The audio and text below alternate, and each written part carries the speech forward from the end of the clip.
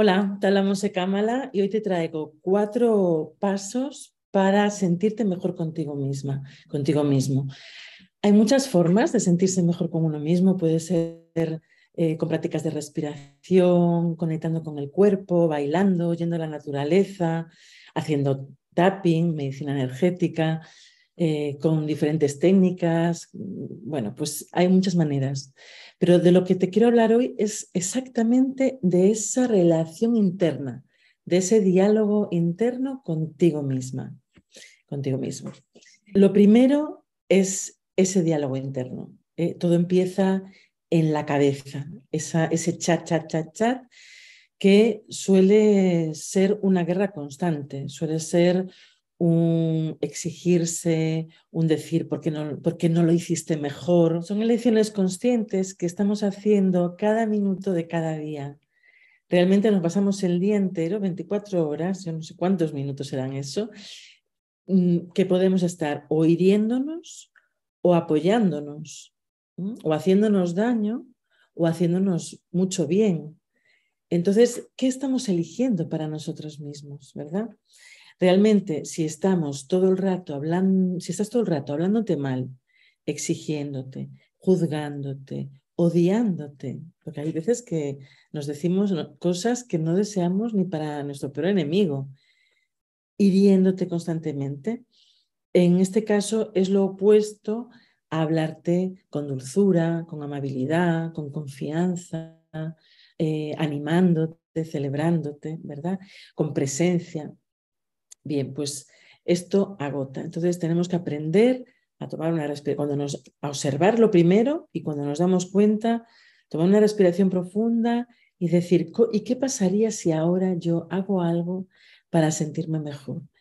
¿Y qué tal si yo ahora empiezo a fijarme en lo que sí estoy haciendo bien, en lo que sí he hecho, en lo que sí tengo? Porque nos pasamos la vida, eso pues eh, podría haber hecho más, podría haber hecho más, más, más, o podría haber hecho mejor.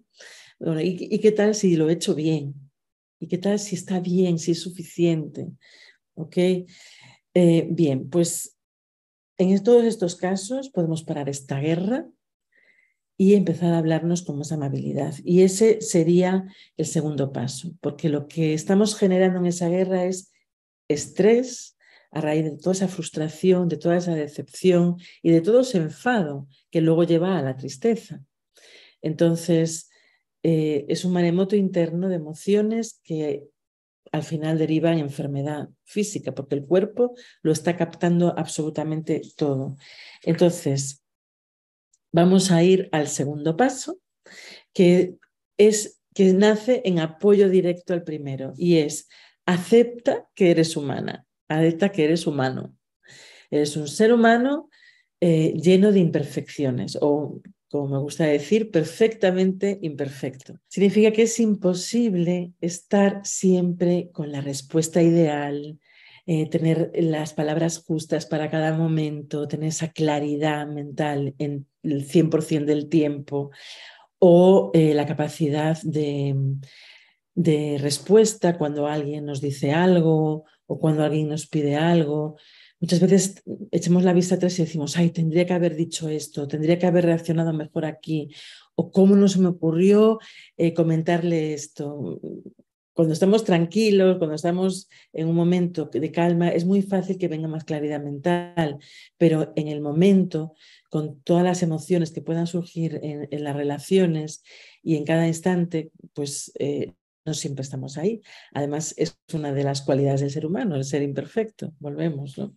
Entonces, una persona que tiene una buena autoestima, una persona que se quiere y que es amable consigo misma, esto lo tiene conquistado. Eh, ya sabe que realmente no siempre lo hace bien, eh, y en lugar de hablar en pequeñito y ponerse en lo peor, sabe que sigue siendo inteligente, sabe que sigue siendo buena persona o sabe que, que bueno, pues que, que lo está haciendo lo mejor que sabe, que está en un proceso de aprendizaje en esta vida. Entonces, te, animo a, utilizar tu libre albedrío y tu capacidad de conciencia para observar primero cómo te estás hablando y cuando, y cuando te captes eh, hablándote mal, al momento te digas a ti misma, para, stop, y recordar que eres un ser humano que está en esta vida aprendiendo a ser feliz, aprendiendo a amarse y que en ningún caso puedes estar perfectamente eh, en todas las circunstancias. Nos vamos a levantar despeinados, nos vamos a despeinar para disfrutar y en ningún momento vamos, o sea, y no vamos a estar el 100% lineal del tiempo eh, con claridad plena, con presencia plena, ojalá, ¿no? Pero no, no es el caso.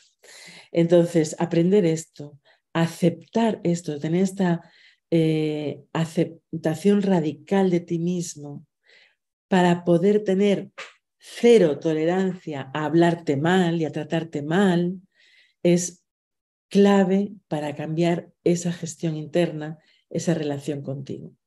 Y cuando tú cambias esa relación contigo, tomas mejores decisiones, todo se vuelve mucho más fácil y realmente tú estás en paz contigo. Entonces, priorizar esto en tu vida, priorizar una relación amorosa contigo misma, contigo mismo, es fundamental. Y ten en cuenta que no hay nadie como tú, ¿eh? no hay nadie como tú para hacerlo. O sea, no hay nadie que conozca tus valores mejor que tú, no hay nadie que te haga, que sepa lo que te hace sonreír mejor que tú, lo que te hace feliz mejor que tú. Entonces, nadie mejor que tú para lo que es el tercer paso, que es liderar tu vida de forma amable y compasiva, redirigir eh, cualquier pensamiento o cualquier actitud destructiva en una compasiva, amable, amorosa, y gozosa finalmente. Esto es cuestión de práctica.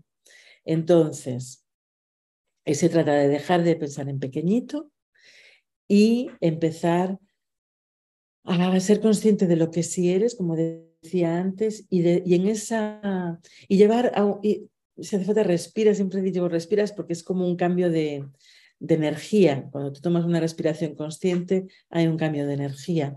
Entonces, ¿qué tal si respiras y entra una dulzura, entra una amabilidad, una compasión y empiezas a verte con los mejores ojos. Vale, te dices eso que estás necesitando realmente. Imagínate que tienes muy mal día y que estarías con muchas ganas de, hablar con, una, de tu, con tu mejor amiga, con tu mejor amigo. ¿Qué es lo que te gustaría que te dijera en ese momento? O no llega la hora de que veas a tu terapeuta, a tu coach, ¿Qué es lo que te gustaría que esa persona te dijera? ¿Te gustaría que te validara, que te dijera, oye, tienes todo el derecho del mundo a sentirte así? ¿O te gustaría que, mm, que te dijera, tranquila, tranquilo, está todo bien, confía, suelta y confía? O tal vez necesitas que te diga, no te preocupes por nada, todo va a salir bien. Mm, o tal vez quieres que te necesitas que te digan, no pasa nada si te has equivocado, eres humana, eres humano. Entonces, dentro de ti está ese coach esa terapeuta interna que sabe qué preguntas hacerse o qué palabras decirse para animarte. Y nadie mejor que tú, repito, para saber las palabras más adecuadas y más certeras. Entonces, conviértete en líder de ti misma, de ese diálogo interno. Lleva tú la conversación de una manera amorosa, amable, en donde te ofreces validación, amor y, y donde, bueno, pues te aceptas incondicionalmente. Como la vida te acepta a ti, tú te aceptas a ti misma. Tampoco pretendas hacerlo todo bien. ¿eh? Volvemos al tema de la exigencia y de la humanidad. Eh, estamos acostumbrados a ir en automático en esa exigencia, porque estamos acostumbrados también a ir con la corriente o con, con esos inputs que nos va dirigiendo sin querer, bueno, sin querer o queriendo, eh, pues la sociedad, eh, las noticias, los medios de comunicación, incluso la familia, pues bueno, nos van transmitiendo sus valores, sus formas de ser, sus formas de pensar, eh, lo que les gustaría que hiciéramos, pero no te, no te están teniendo en cuenta a ti. Entonces, tú eres la que puede mejor liderarse teniéndote en cuenta a ti. ¿Ok?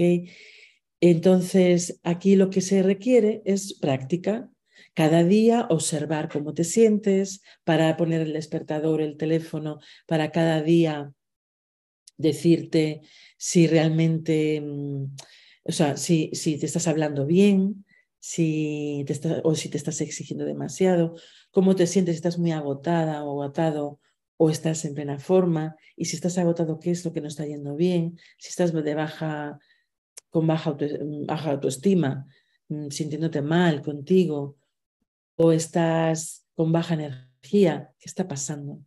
¿Y qué puedo hacer ahora para sentirme un poco mejor? ¿Y cómo podría hablarme ahora para sentirme mejor?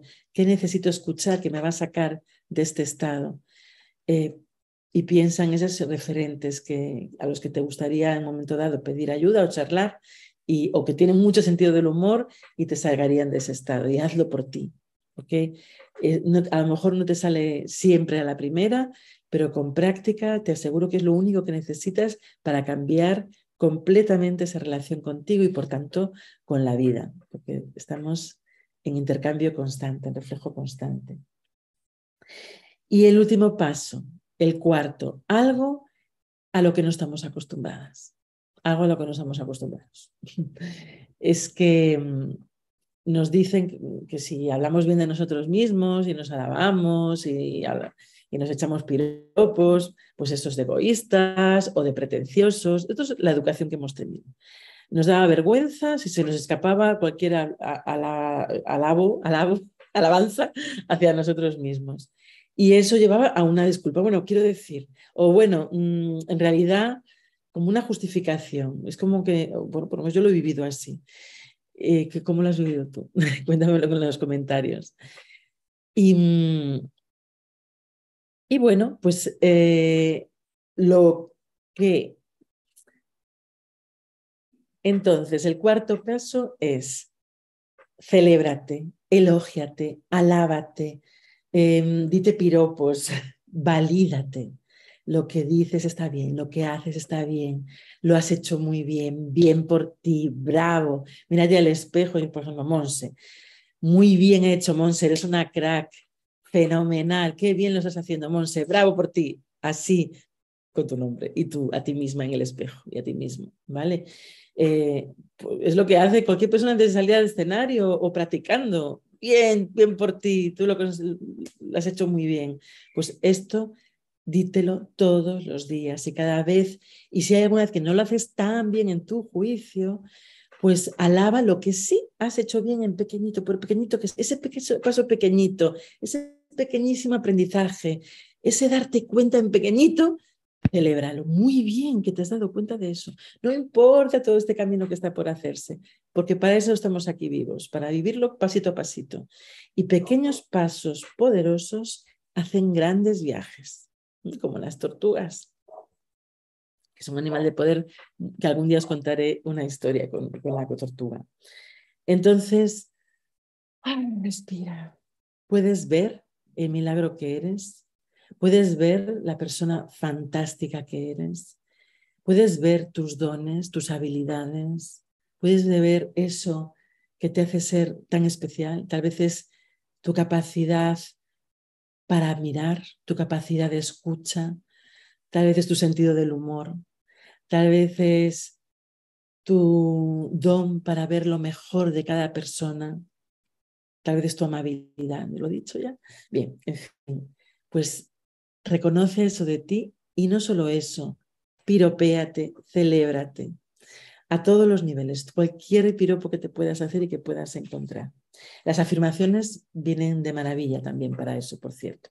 A ver que no me quede nada de lo que te quería contar bueno, sí, tal vez eh, que todo esto que te he contado, saberlo, entenderlo, que me hayas escuchado y hayas dicho, sí, hoy es verdad, o ostras, pues sí, lo voy a hacer. Eh, el darte cuenta o el saberlo no es suficiente. El conocimiento se queda en eso, aquí.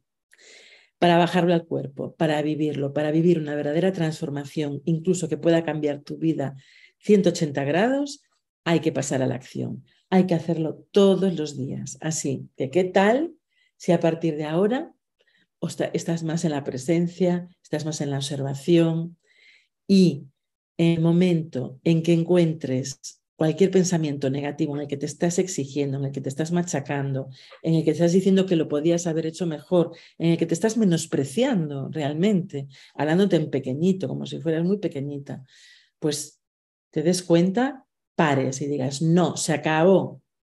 Bien contundente.